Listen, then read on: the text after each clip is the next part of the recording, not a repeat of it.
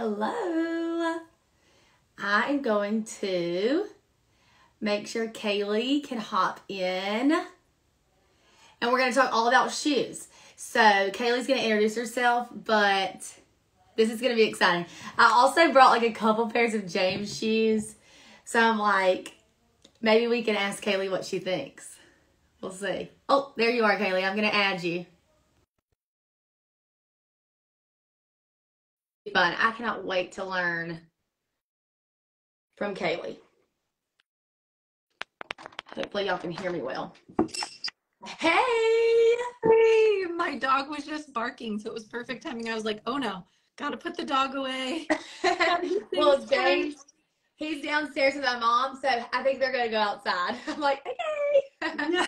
Bye, don't scream, please. no yelling. I love it. I am so excited about this, Kaylee. I have been looking forward to this because, you know, I'm a therapist, but I just don't know a lot about shoes. And I don't really know a lot about like when do they go barefoot? When do they need shoes? What shoes? I feel like there's just so many options. So I'm really excited for you to chat about this. I've gotten a lot of questions too. So I think it's going to be very informative for everyone. I hope so. I'm excited. And I'll say, just as a disclaimer, like I'm still growing and learning, and a lot of my opinions and like the way that I view a lot of this has changed just in the last two years. So um, I've been out of the clinic and um, at home with my babies for I think about two years now.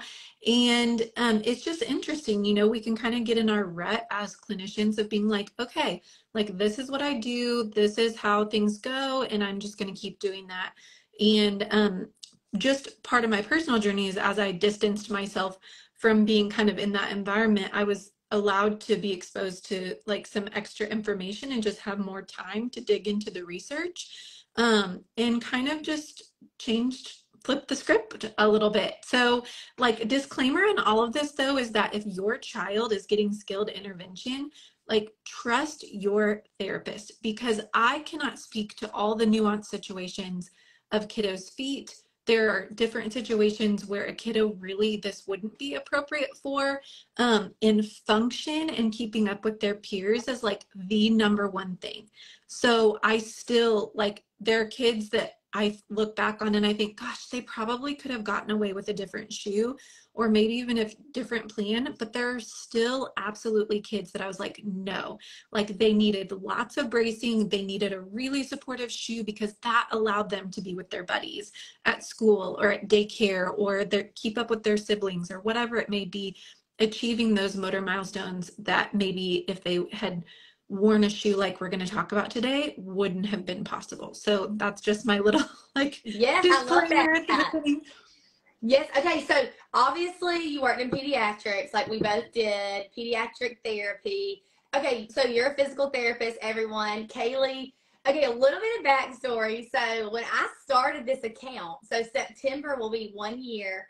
I reached out to Kaylee, and she was so nice, so oh, helpful.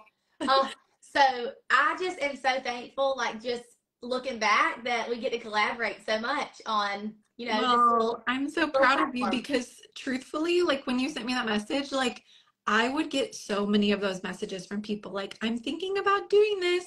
And I probably like was a little jaded at that point because I would spend early on I would spend a lot of time helping people and then they would never start an account. And so I'm like, this is not worth my time. So I hope that I was nice and you've like so done, nice. done so amazing. And um, yeah, I'm super proud of your community and all that you've done. But it was really fun to then later be like, oh my gosh, like she actually did it. And yes. you know, you have to take big risks, but hey, it's wonderful. And these people that are here with us, like they're just so loyal and just really want to know about their babies. And, you know, us as moms, like we want to help people with their babies and our own babies. So that's wonderful. You're a physical therapist. How long did you work in PEDS? How long have you been in PEDS?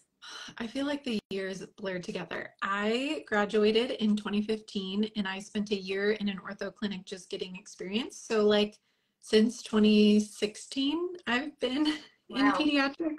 I love it. What is the math on that? Seven yeah, years? what year is it? I don't even know, right? So yeah. Okay, great. And y'all know me. I'm Brooke, occupational therapist. Um, I have a baby. His name is James. He's one. And then I'm expecting another. I don't know, Kaylee, if you knew that, and you're having another too. Yeah. So, so fun. I'm excited for you. Yes, you too. You have a lot more, you know, experience. So I always just like multiple kids. I'm like, okay, what's going on with that type of life, you know? yeah. Yes. Yeah. Well, it's fun. It's a wild ride, but um, but that's so fun. And did I see you know it's a girl? Yes, it's a girl. Okay. So, you know, as long as everything goes well and everything hopefully is continuing to go well, it'll it'll be our last probably. So that'll be nice to just um, have two really close in age and then be be good. So mm-hmm. we are very thankful. I'm very thankful. So let's talk a little bit about before we get to shoes, okay? Because shoes is the main topic. But just cover a little bit about walking. Of course, you and I both know a lot about walking, but I want to just hear your thoughts as far as like skills required. When is your baby going to be ready to walk? Maybe some age kind of ranges roughly. Just give us your thoughts on walking in general. Yeah. Um, okay, so without going too much into it, and I'm sure that you hammer home on this, like I really want to see a baby crawling before we push walking too much. And I think this can be really hard because I think our culture promotes this idea that by that first birthday, like everyone's asking you, are they walking yet? Are they walking yet? And really, anywhere from like 11 to 15 months is a very normal typical range for a baby to start walking. So they may do it before their first birthday or well after, and that's still considered a normal developmental trajectory. So really focusing on crawling, it's okay if your baby has more time in crawling. I actually think it's phenomenal for neurodevelopment, for, you know, like body mapping and all kinds of things. And we could go on and on about that. But like, don't be discouraged if by their first birthday, they're not walking. It's okay um, you know, skills required. Crawling obviously lends itself to opening up a whole new world of, whoa, now I see all these things that I can pull up on, and that's really exciting. So that's another common question or concern I get from parents is like, oh, oh my gosh, my baby finally started hands and knees crawling and now they're pulling to stand. Well, that's okay. That's totally common. And there's a lot that happens in between them pulling to stand and them actually being a confident walker. So I think people think like, oh no, they're upright. Like the people that have heard us be on our soapbox about crawling, um, they're thinking, man, they're just to skip it and they're to go straight to walking. So once they're pulling to stand, you might notice that their knees are really locked out and they're really unstable. So tiny little mini stones along the way are things like them being able to unlock their knees and maybe slightly bend or weight shift to the side, maybe rotating around to reach things, cruising, so walking sideways along surfaces and transferring between surfaces. So where like maybe they're going from the couch to the coffee table and having to do like a full pivot there.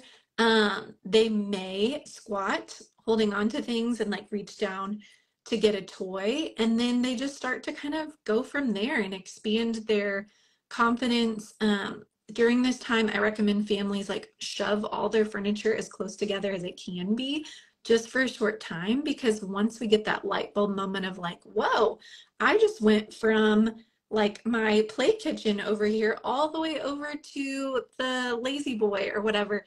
And I was in standing, like I can get around like this. It's kind of a fun moment to see them have that moment of understanding that it's a, a means of mobility. So um, you know, usually they'll start out kind of toddling, taking a few steps and just like face planting, very normal.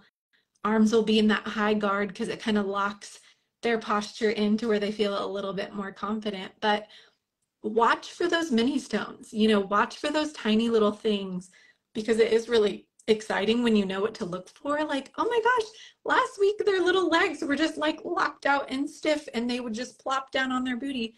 And maybe this week they're slowly lowering to the floor to get down to sitting. So, um, did that Yes. answer your question? That is amazing. And I'm just like thinking about James too, because, you know, OT, like, I know about gross motor, but like physical therapy, y'all really hone in on like all of those complex, like lower body and just like intricate mini milestones that come. And of course, I observe those things, but some of those things you were talking about are really new to me. And so I mean, especially too, like I can totally relate with like the bumps and bruises because James fell like when he first started pulling up. I was like, oh my goodness. And of course, now like he's not independently walking, but he's standing a lot more without holding on to things. Like maybe he'll have his little straw cup, kind of distracting him from thinking about the fact that, oh my gosh, like I'm not holding on to anything. Yeah. And so I agree. Like I always teach my followers and my clients that you know, instead of worrying about the big picture, break down the small things because it's a lot more digestible. Like, don't be like, oh my gosh, my, my baby's not rolling or my baby's not crawling or walking. Like, think about, I mean, us as therapists, we think about what skills are needed for this baby to go from the point that they are to the point of achieving the milestone. And I think it just really relieves anxiety among parents, right? Because we all want our babies to be on time and do all the things yeah. appropriately. Yeah, and it's hard. I think that's where that clinical knowledge comes in that we do have to educate families on because a lot of families would say, I want my baby to walk. So they would either just do push toy or walking with hands. And it's like there's so much more that goes into it. But as a parent, like we wouldn't know that, right? Like we wouldn't think about break breaking things down and doing like movement analysis is what it's called. And so um, I think it can be really encouraging when we can focus on the little milestones each day that are those little stepping stones towards the really big ones. And they're also necessary um, to getting there. And you can work on those things in little bite sized increments rather than just like going from crawling to walking. And another random thing, since we're talking about shoes, something to note that's really fascinating um, that people may not know is that our bone grows in response to stress. So, like weight bearing, your child weight bearing and standing, or the muscles pulling on their feet and ankles. I get lots and lots of questions about, oh my gosh, like my baby just started pulling to stand and their feet are so tiny. How am I ever going to find shoes for them? They're in like a six to 12 month shoe. And the thing that I would encourage you with is that time spent in standing, their feet are going to grow because their body is suddenly going to realize, oh, I have this new challenge that I'm having to adapt to. My feet need to grow. Now, some babies, they just have little feet, and that's okay. But most of the time, you see a huge acceleration in their foot size. And in fact, my first when she started independently walking confidently went through three shoe sizes in three months. So like her body was like whoa we need to grow our feet so we're not not falling all the time on these tiny little feet. Um, so that's just something to note too. If you're like concerned about buying shoes and finding the right size there's lots of great brands that come in like size one and two.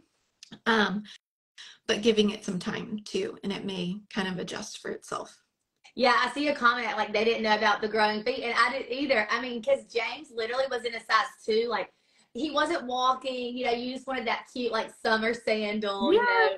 And so uh, we got a size two, and then now that he's pulling the stand, cruising, freeing, standing, really like getting ready to walk, we just had to buy threes. So that makes perfect sense. Um, yeah. So okay, that's great. So let's talk about shoes because we got a lot of questions from like specific people, but I want to just pick your brain, okay? And I did bring two of James' shoes um, if we have time. I'm like, we can analyze them, and I'll be like, okay, I'm gonna return. I'm just kidding. um, but I think that would be fun just to kind of look at two different shoes too. But let's just walk us through as parents when our babies are ready for shoes when they're starting to walk, like touch on barefoot versus shoes. You know, let's just talk about all the things. We're listening. Okay, so and someone actually just asked a very similar question like is it okay to put shoes on babies before they're really ready? And and the short answer is yes, it's absolutely okay. Baby shoes are so cute. Like I am not here to steal anyone's joy or any like grandma's joy that wants to buy all the cute little like crib shoes and stuff we just want to prioritize barefoot time. So, meaning if you're like going to church or like you're going on a fun outing and you want to put the cute little booties or something on your baby like well before they're walking, totally fine. Um, do it. But then when you're you're home and you're playing, or maybe you're playing outside in the grass and they don't really need shoes, just think okay, they don't need them right now, or like, I don't have to have them for the outfit. So let's prioritize barefoot time. Almost kind of like, Brooke, how you and I view container time. Like, it, use it, but just really try to emphasize that barefoot time um, on the flip side. So no, like, oh, they wore shoes all day today. So tomorrow we're going to try to keep shoes and socks off. Um, when I really recommend a family start thinking about shoes is when baby is getting close to the point, baby or toddler is getting close to the point of what I call community walking. So, meaning like, are they going to be outside pushing something around on your driveway and it's 100 degrees outside and they need something to protect their foot? Or are you going to go to the playground and they might be pulling to stand on some mulch that would be really uncomfortable on their foot? So, like a, a protective kind of idea when we're thinking about a first shoe. And at that point, it can be something really, really simple and minimalist. I don't have them on hand, but what I call it is like a puncture proof moccasin or puncture proof shoe. So, like a lot of companies will have little shoes that look like tennis shoes, um, and the bottom is really soft, but it's thick enough that if they stepped on something uncomfortable, it would protect their little foot. But still, they're getting lots and lots of sensation through the bottom of their foot. Their foot is able to adjust and adapt to their environment. So that's kind of when you want to start thinking about it is, is if it's reasonable or likely that you're going to be in situations where we need to protect their foot, but not be putting a whole lot on there. So that's what we would call like a first walker um, or like a, you know, a, a first walker shoe. Does that make sense? Right. Yes, I love that community walking because, like yesterday, my mom and I just took James to the library, and my mom put shoes on him, and I'm like, "Does he need shoes?" But you know, if you think about like he's gonna be walking and pulling up on the library bookshelves and the carpet, like we don't know who's like walking around in there, you know. Yeah. And so that that's great. Um, I think about too, like we're in South Georgia, so it's like super hot, you know. And so mm-hmm. for his birthday, he got like some little like ride on toys. And so mm-hmm. if we're in the the driveway, like maybe a little shoe to protect his foot from the heat and things like that. So absolutely very helpful. Okay, as far as like first walker shoes go, kind of talk about because I want to talk about the anatomy of the shoe but I want to talk about some brands. So, I mean, do you have any brands like off the off the cuff that yeah. you can think of for like first just walker? Pop over. I think I might have some first walkers right over here. Give me just a second. Okay, cool. And, and then we'll also look at the two I brought because I'm so curious.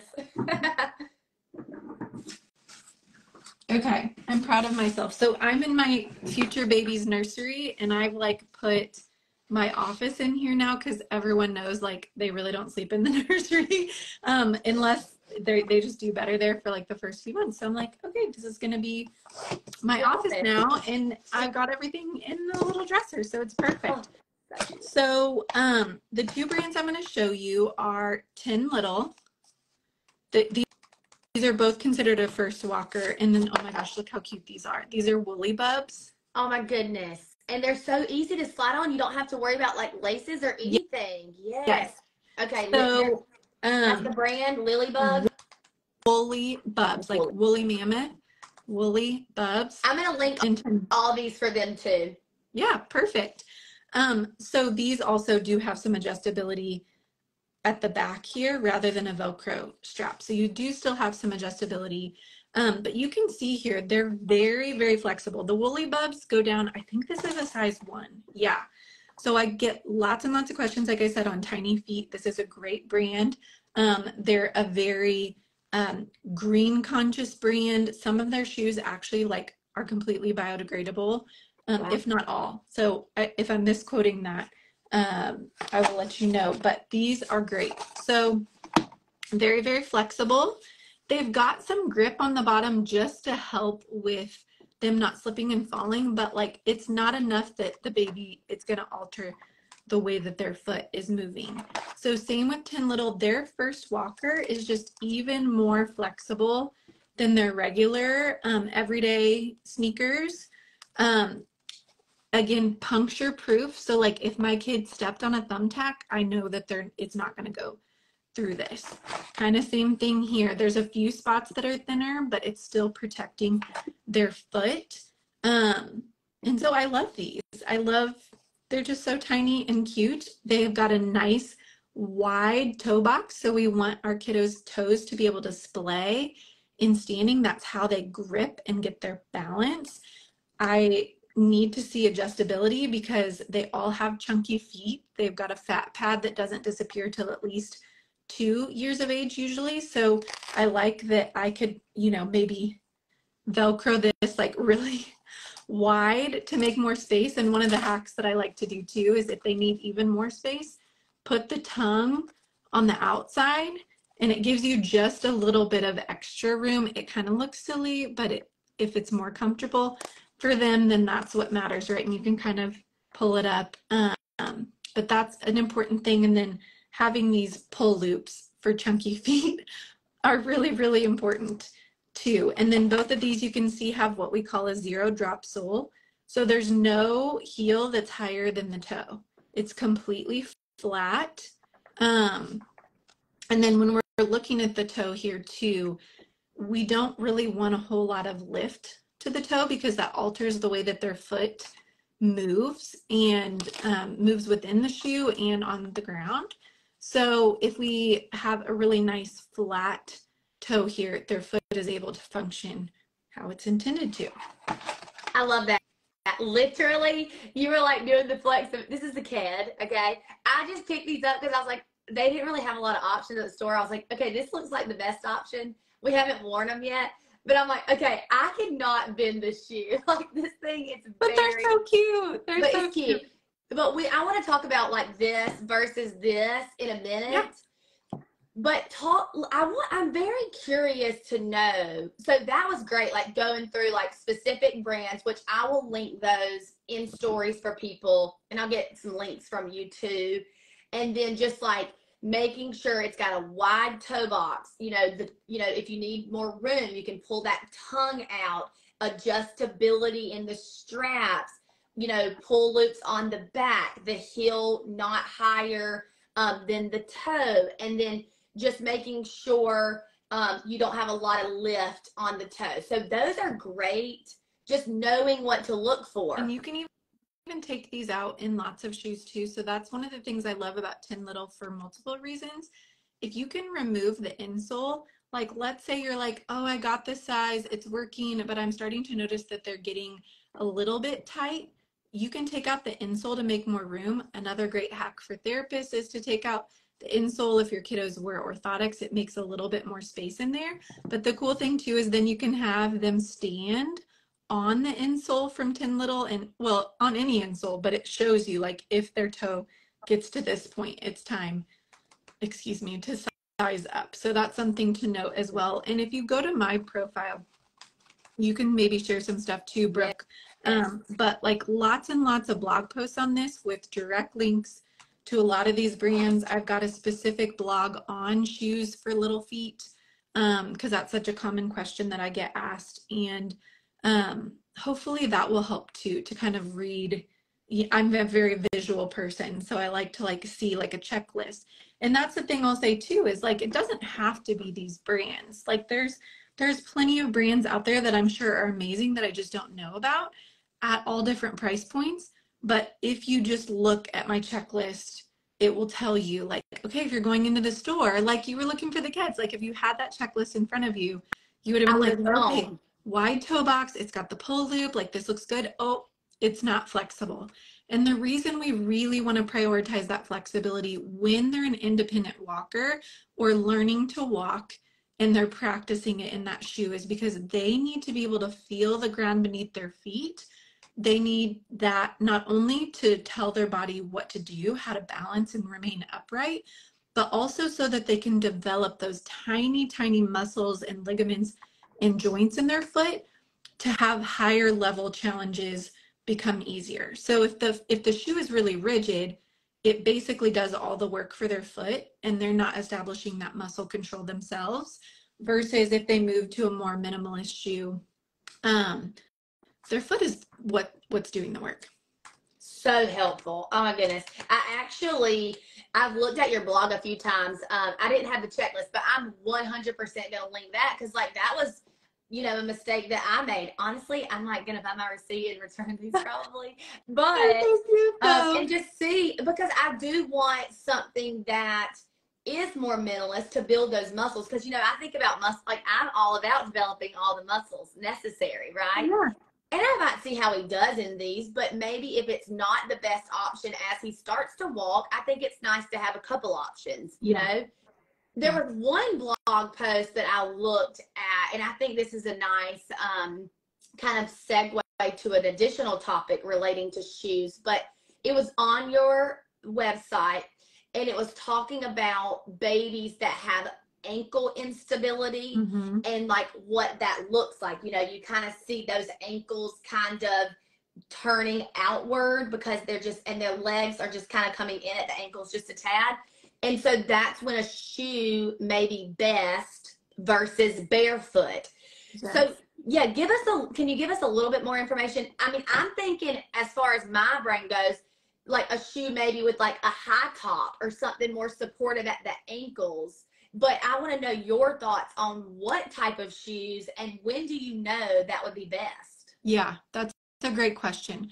So when we're talking about flat feet versus true ankle pronation, which is what you're kind of speaking to, it is completely normal for a baby to have flat feet, where like their arch touches the ground. There's a fat pad there. Like I said early on, like it disappears around two years of age, but that is totally normal if their feet are flat. Now, if we move into what's called ankle overpronation, that's where you see like their heel collapsing in, their feet almost look like turned turned in on the inside and flipped up on the outside. And honestly, if your child has that and they've been standing for quite some time, you need to be working with a therapist to have them walk you through and guide you through a program to strengthen the foot and ankle to determine where it's coming from. Is it hip weakness? Is it core weakness? Is it truly the way that their foot is made? What that looks like, but need to do lots and lots of strengthening to try to counteract that and then determine is this the way their foot's going to be or can we um, improve things quite a bit and get to normal? And so, like my daughter, for example, she was one that her poor little ankles were so collapsed in. She was delayed in her motor milestones, and I did put her in a more supportive shoe early on before I knew some of this stuff. And looking back, I I think and I wonder like what would it have looked like to put her in a really supportive shoe when she was at daycare, but then at home have tons and tons of barefoot time when we go to the park and I could be like chasing her and holding on to her, like maybe using a more minimalist shoe. So, um, you know, it's hard to go too much into it because it is so specific to each kiddo. But what you're speaking to is is kind of like what I was saying was if if a more supportive shoe, if we put them in something like like a new balance was like pretty rigid and supportive or like a high top, if that allows them to keep up with their peers, do that and then also be talking with a PT to focus on like the strengthening and stability component. My daughter's feet are great now. I would say she still like has a flatter foot than some kids. She doesn't have like a high arch, but we've done a lot like climbing trees and climbing things at the park and bear crawling and lifting onto tiptoes and balancing and all kinds of things that I knew to do because I'm a PT as her mom. But um they got better. You know, they were really, really bad and they got better. And now she wears a minimalist shoe and does great and is able to strengthen all of that stuff because like her shoes are not impeding her function. Yes. Does that answer your That's question? So helpful. Love that. And I'll link that blog post too, because I found that very helpful. Just trying to determine like what that looks like. I mean, I even like had my child, I was like, okay, I told my husband, I'm like, okay, Dan, let's put him in standing. Like I want to look at him from the back to see what his ankles look like. But I love it's just crazy to me how like everybody specializes in their own things. Like for me, I'm like a head shaped girl, right? But like you know so much about like the foot, the ankle, shoe wise, like just so helpful. Cause I mean, you just go to the store and there's so many options and you just get so overwhelmed. You're like, I'll just take the first one, you know? Um, yeah, really hard. Yes, so hard. All the decisions with with parenthood, it's like one decision after another, right? but someone did mention like a specific brand in the comments, and I was just going to touch on the fact that you know, I'm going to link your checklist. I think it's good to have the checklist to guide, but you know, we're not saying don't buy these types of brands. Like, don't buy this shoe because it's terrible for your baby. Like, yes. we're not extremists, yeah. right? exactly. But if we're looking for an option that builds the musculature, then, like you're saying, the minimalist shoe, the lightweight, flexibility is is a very good option for that gross motor development. So yeah. just wanted to talk about that. That's perfect. And all different price points. Like I said, like follow my checklist. Go into a big box store and try to find one that fits that if you can. Um, you know, we really are a family on a budget. I think I just talked about this in stories today. And so sticker shock sometimes with some of these like more foot healthy shoes has been tough. Like I'm going to drop 50 bucks on a pair of shoes for my toddler. But what I will say is hindsight as a mama, I I now have a 6-year-old, a 4-year-old, and this baby on the way. And when you look at the value of something over time, to me, I could have invested more in a higher quality shoe that lasted, picking a gender neutral color maybe that I then could hand down to my next kiddo or to this next baby versus buying a bunch of really cheap shoes and then them not lasting. I couldn't sell them on marketplace. I couldn't hand them down to a friend or to my like second or third kiddos. So you ha- when you look at it that way, sometimes it does help. And even if you only plan to have one kiddo, like I've been able to hand down some shoes to a little boy that goes to my mom's church who like his mom can't afford shoes and it's felt so good to be like okay we made that investment and now i know i'm giving them a really high quality level of shoe.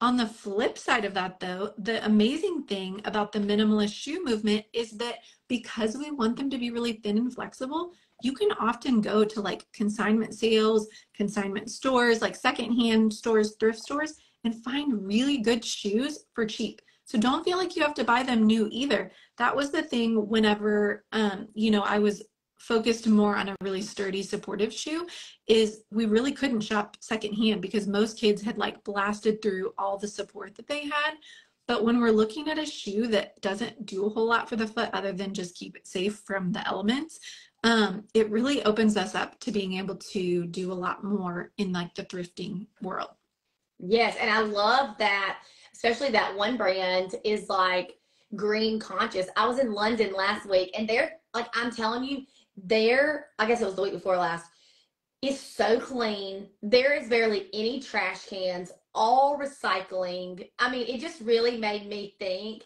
And it just got me thinking about like scripture and just thinking about, you know, what does the Bible say about that? And you know, in Genesis 1, it says we need to care for like the earth that God has provided for us. And so we started recycling and things. So that is really cool too, that not only can it be passed down, you can buy them for a discounted price, but also we know they're not made with these materials that are not going to last and then also going to, um, you know, just be in a landfill, right? Yes, absolutely. So, uh, that's great. Wonderful. Okay. I think the last thing I want to touch on, and then we can answer, you know, maybe a couple questions, but we really have covered a lot, um, is sizing. So we're very, I'm very thankful. And maybe most shoe stores do this, like children's shoe stores, not too sure. But one place we have in our community, which we live in a pretty small town, but they size the shoe for you. They like they put your baby's foot on the little thing, they size it. They're like, okay, he needs a three or whatever. So if they don't have that option, and if they don't have the Ten Little wear or shoe that shows you, which that is amazing that they do that because that's really cool. How would you measure your your baby's foot? Like how would Great you do question. that? Before we go into that, I want to say too, because I had a, a mom brain moment where I was like, there's something I was going to say and I forgot. Try to not get like super into brands either because I've even found some brands that I was like, oh, this shoe from them is amazing. It checks all the boxes. then I went and looked at like a different season of shoe or a different size of shoe, and maybe I thought it was terrible. So, really going back to that checklist, like just look for these things as much as you can, read the reviews, because um, it can be hard to see online. Like, is it flexible? Like, what does the sole look like?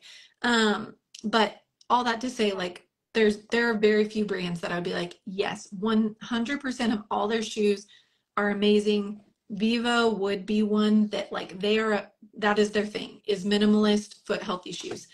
Um, Ten Little is pretty good. Their sandals, their original sandals, I didn't used to like. Now I like them. Anyways, so okay, talking about sizing, that can get tricky because if you go to a shoe store and you're like, oh, we're standing on this standardized measurement thing and it's saying it's a size three. So annoying and obnoxious, but every shoe company's sizing chart is so different. So let's say you're like, oh, I'm at like Bob's shoe store and they told me my kid needs a size three. So you go, you're like, I'm going to get Mary Jane's in a size three, and I'm going to get like this cute little tennis shoe in a size three and this winter boot in a size three. They could all fit completely different. So very frustrating, right? Um, any shoes, just like as a, an aside, any shoes, if their insoles come out in the store, pop these out and have your toddler stand on them. That's like a quick, like the quickest way that you can see where their foot's to land if their foot's if the shoe's going to be wide enough for their feet, if it's long enough, what what their foot is going to be on and they need to be in standing.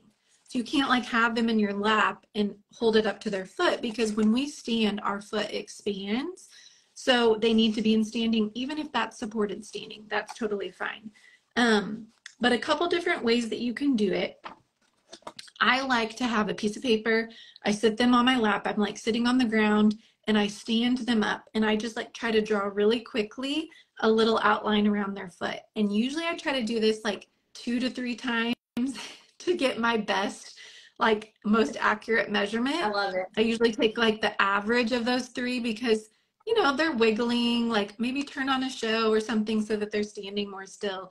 But um, I usually take the average of those three measurements. So that sounds really complicated, but like adding all three up, dividing by three. And then I'm like, okay, my child's foot is seven inches and so many, you know, seven and a quarter inches or this many centimeters. Most sizing charts will go off inches and centimeters. Centimeters is, of course, like a smaller measurement. So I think you can be more precise with that. Um, when we're talking about looking at sizing charts, we don't want to size up um, if it's not super close. So that's kind of hard to explain, but basically, if you're going to have to add a significant amount of inches or centimeters to get to the next size, I would prefer you go down. Okay. As long as it's not less. Um, so we don't want to be going smaller than their current size of foot. This is really hard to. to no, I'm following. That makes sense. But when you yep. see the size charts, you'll know what I'm talking about. Like we really don't want to size up, especially when they're early walkers. Now, if they're in like elementary school and you want to go up a half a size to try to make them last the whole school year, like more power to you, that's probably fine. But do not size up, especially like trying to accommodate for width or a chunkier foot. It will cause them to trip and fall over their toes. It's like someone wearing a clown shoe. Because their feet are so tiny, it's so much more compounded, the effects of that. So a couple things you can do when you have that little outline is you can look online if you've got like the inches or centimeters on each brand and what size they need. You can also literally take that to the store and like maybe you're like, okay, honey, like I'm gonna go shoe shopping for the baby and you're you're on dad duty, like I'm going by myself and not taking them so I can't look at their foot. Then you've got that little piece of paper and you can either like set the shoe on top of the paper or you can pull the insole out and put it on top of their little foot outline. But that can be so fascinating and interesting too, because I think a lot of people love like going to Target for shoes. And when you pull out Target's insoles, you see just how narrow a lot of their shoes are, which can make it tough. Some kids are fine with those narrow shoes, but um, I'm trying to make sure I covered all my bases, but like there's multiple ways. We just want to make sure we know that every size chart is so different. So you want to look at that specific brand's size chart that you're either ordering from or buying from in the store. Love that. I'm like thinking about my own feet. Yeah. I'm like, I have like a little bit of a wider foot and I always size up. So I'm like, okay, I need to like draw an outline of my foot and then do the same because Yeah. I do have like feet issues sometimes. And maybe it's because I'm trying to stuff them into narrow shoes, Yes. you know? Yeah. And um, so Kelly at the Barefoot Shoe Guide, she shares a ton of stuff for moms and for adult shoes. And I, um, Vivo just sent me some shoes to try too. And, you know, in pregnancy, like I thankfully have not had a ton of swelling, but I just didn't like the feeling of my feet being cramped in shoes and hot. And their toe box in their shoe is so nice and wide. When I get home from a walk, I'm like, my toes don't like feel uncomfortable. This is so nice. I love that. Oh my goodness, I love it. Okay, this is really been great. I just want to make sure, you know, um, there's a couple questions about like specifics. So, like we talked about brands, we talked about sizing, we talked about should you put your baby in shoes prior to walking. We talked about, you know, how do you know um, what shoes to buy. There's a few questions and we'll just kind of wrap it up here um, with these questions is you know ba- what are, are some brands for babies that have a high instep do you have any off, the kind of and let me just give you the list so there's brands for toe walkers brands for in high instep and then brands for a baby that has like high tops. So, Okay. do you have any like specifics? And I'll write them down, and I can put them in the in the comments too. Yeah. Well, I'm going to give you a disappointing answer. You don't have any. High instep and toe walkers, just in general, I stay away from saying like, oh, this shoe would be great for this very specific thing. Um, because it's so nuanced. That needs a clinical eye on it because you may put a, a toe walker in a high top shoe and it does nothing. I had plenty of toe walkers that I put in high top shoes that I thought were like, or like boots that I thought were going to bring them down, but there's such a deeper underlying cause that the shoe itself is probably not going to do a ton. Or like the squeaker shoes, like a lot of people use the squeaker shoes to try to get the heel down. Maybe the kid is not motivated by the squeakers. So, and high instep too, like that's pretty uncommon, I would say, to have a higher arch ultimately you probably unless they had pain could do a shoe like what i'm recommending and their foot is just going to move the way that it needs to i wouldn't say that we need to build up the arch to that instep but again so nuanced so clinical and something that like in the instagram space in my opinion is not appropriate because that is such a unique situation so i'm sorry to not. No, that's a great answer. I know. And talking about toe walking, so my friend, her baby's like toe walking, and I'm like, okay, I'm thinking about it as an OT from like a sensory perspective, like proprioception. Like he's trying to get a ton of body weight through his little feet. Like he really likes the way that heaviness mm-hmm. feels, Yes. right? yeah So we're not going to alter the shoe as much as we're going to implement a sensory diet, right? So exactly just from an OT, I totally agree with that. And I, I'm with you on those things. Like people are like, my baby's not crawling. This is what they're doing. I'm like, okay, we we gotta like break it down. It's not one size fits all. Like if you've tried the free tips or the tips on my page and it hasn't worked, then we might need to dig a little deeper. You know? Yeah. There are So- some really, really cool insoles, and the name of the brand is escaping me right now. Um, but if someone Googles like sensory insoles for toe walkers, I've not actually gotten to try them in the clinic, but the idea of them I think is really fascinating. Um, and they've got like little things on them that basically give sensory feedback when the foot is flat. So just a random aside about that. Um, I also want to say before we get to the last question that I'm super excited that we just got official approval for APTA continuing education units for the summit that we're doing together. So um, for anyone who's still listening, thank you for being here. Um, Brooke is a speaker at the Thriving in the First Year Summit, which is a summit that I put on with one of my other OT friends. And um, if you're a parent or a pediatric professional, um, this is such a phenomenal resource. And like my topic is on shoes. So if you want to know even more, I dive a little bit more into the research in my topic. And Brooke dives a ton into like her methodologies and stuff behind head shape. So if you've ever just wanted to like hear her, you know, start to finish talk about that topic. But if you are a therapist and you're watching this, we just got CEU approval, which is huge um, and it's 15 credit hours. So I just had to plug that. So exciting. Um, we don't have like everything up and running yet, but we can maybe add the link to this um, within the next couple days so people can sign up if they're interested. Yes, that. I am so.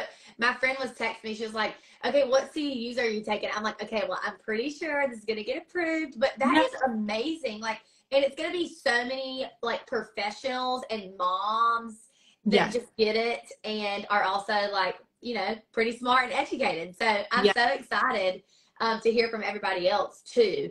So I think really the last question is just like high tops, but you know, just like some specific brands for high tops. But I feel like, you know, like you've said, if a baby needs a high top, it might be, you know, needing a little bit further look at like the ankle instability. Like, why do they need that support kind of thing? Um, so would you agree with that?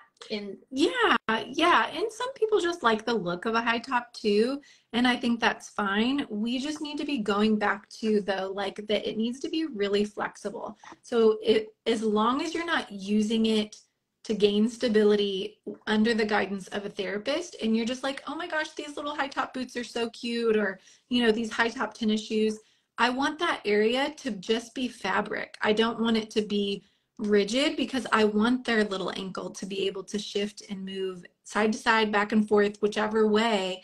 So think about that. And there, there's lots of great brands out there that are just fabric there. It's just for like the look of it. And that's totally fine. I don't have any specific brands in mind. Like I know Merrell makes a high top, um, like Billy's are a popular one. I think Billy's have a pretty rigid sole though, um, but a lot of people use those for orthotics. Um, I'm trying to think. Ten Little has a high top that I know of. But yeah, I think as long as it's not impeding their ability to move their foot and ankle, then it's totally fine. I love it. I love it. I was shaking my head. Someone thinks I'm listening to music. I'm also just very intently listening to you. Yeah. Um, okay, that's great. Honestly, these two shoes are not the best, but you know what? We all learn all the time, and that's just part of being a person is being a lifetime learner. So this was really helpful for me, just as a mom and as a as a parent that has a, a baby that's about to walk. And so I am going to link. I took a ton of notes so I'm going to link some of this in the comments of the live, but also I'm going to hop on stories and put some things like that you mentioned, specific brands and things, link your blog, your blog post. But this You're was awesome. so helpful. So helpful. Thank you for having me. Yeah, and I think I've got several shoes posts pinned to like the top of my profile because it really is one of the most common questions I get asked about. And most of those have some automation set up to where like if someone comments, a certain word on it that it will send them direct to those blog posts too. So thank you for sharing that. That helps me a ton because it's hard to get through everything in one of these lives. And um, when you go to my blog, a pop up will come up that gives you that checklist. It's like my top tips for shoe buying. Um, and it's a PDF and it links out to lots of different blog posts. But that can be something easily, like if you're going to the shoe store and you just want to refresh your memory beforehand on what to look for, it can be a really good resource.